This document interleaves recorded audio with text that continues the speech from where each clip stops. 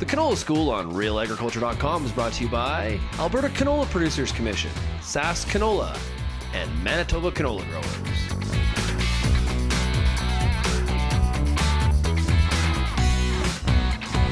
Jay Strove here with realagriculture.com, and we're here at the ENMAX Center in Lethbridge, Alberta, at the Alberta Combine College. And I'm joined by Clint Jurke of the Canola Council of Canada.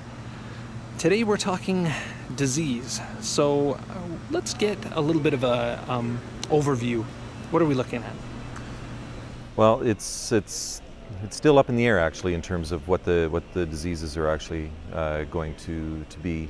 Uh, we know that early season it was it was very dry through all the, the prairies, and so we didn't see as, as much seedling diseases as, as what we've seen in the past. But you know we didn't see all that much emergence as well. It was it was pretty variable uh, the, the crop that came out of the ground. But now that uh, we've seemed to have entered into a wetter cycle for much of the prairies.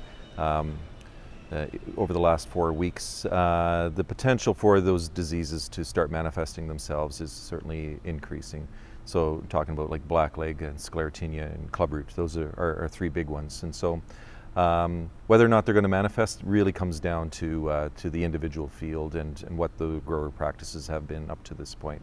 So what we're trying to do here at, at the Combine College is, is uh, getting growers to think about diseases, uh, what their impacts are, because ultimately those diseases will affect the, the harvest uh, process. The more disease you have, the more variability you're going to have in that crop canopy, and that's going to affect um, how the, the maturity of that crop is, uh, the variability of that maturity, and, and even how that crop flows into the combine and how much seed is retained in the combine. So getting a better handle on those diseases does make for a better harvest experience. So what does that mean in terms of um, mid to late season scouting in fields? Yeah, so the um, right now the, the type of scouting that a, a, grower needs to do is, is to consider whether or not sclerotinia is, is going to be a problem. We had a dry start, so that usually means that the sclerotia that are in the soil, uh, the risk of them actually producing the little fruiting structures that look like mushrooms almost, uh, called apothecia, and those things start spitting out uh, ascospores. The risk of that is reduced when, when it's dry. But we've had about three to four weeks of, of fairly wet uh, soil uh, situation, and what that means is now those apothecia are starting to produce those, uh, those ascospores. So the real question is really whether or not those ascospores are going to happen to coincide in that 20 to, to 50% flowering stage in an individual field. If they do, we have wet crop canopies. It's really good for the disease. So if that fungus is there in that wet canopy, we could potentially have some sclerotinia issues. We're hopeful that, that those spores actually don't arrive until later on in the season and then we can kind of get past that, that infection period. So, so that's the, the kind of scouting we should be doing now. So growers should be considering going into fields, assessing how wet that canopy is. And there are genetic tests that, that are available where you can take uh, uh, canola flower petals and send them to a lab and they'll run a, a, DNA test to determine whether or not those, that, that fungus is actually on those petals. If it is, and you got wet crop canopy, might be a good idea to actually protect that with a fungicide. So that's the scouting that you want to be doing right now. Uh, other scouting that can be happen is, is when once we get closer to the swathing time. So what would we be looking at in regards to that?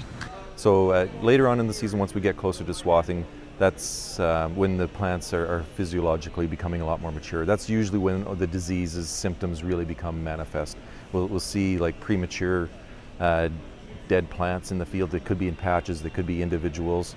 Um, figuring out what, if you are seeing uh, individual or patches of plants that are dying, figuring out like what actually killed them is really important because then you can plan out what your management strategy is. Usually if it's in patches, like you have whole patches dead, that could be an indication that clubroot is there. So at, at swathing time, that kind of that 60% seed color change, pulling up plants, looking at the roots, if finding galls on it. Uh, unfortunately, that's not a really good situation, um, but then that means that you're, you're going to have to start managing uh, a lot more aggressively for clubroot in that individual field.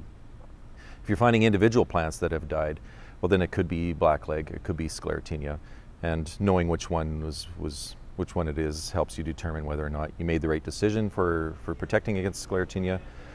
And if it's blackleg, then you, that helps you understand whether or not you made the right decision in your variety choice. Um, so that we we're in a really interesting time right now for, for managing diseases because we have genetic technologies which we certainly didn't have five years ago that can help us uh, actually pinpoint which uh, which disease is present and even which pathotype or which race of that disease is present so we can start picking out which tools are going to work the best against that. So that's uh, kind of what we're doing here.